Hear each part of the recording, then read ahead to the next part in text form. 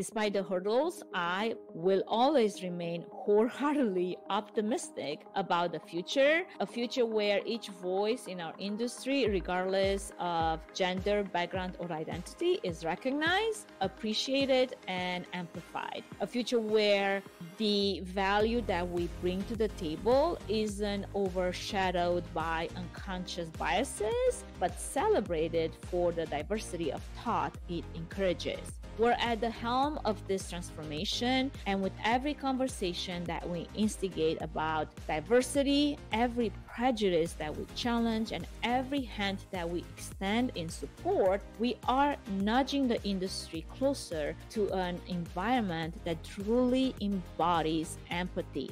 It's through these seemingly small actions that we gradually dismantle long-standing norms, paving the way for a future where everyone is granted an equal opportunity to excel.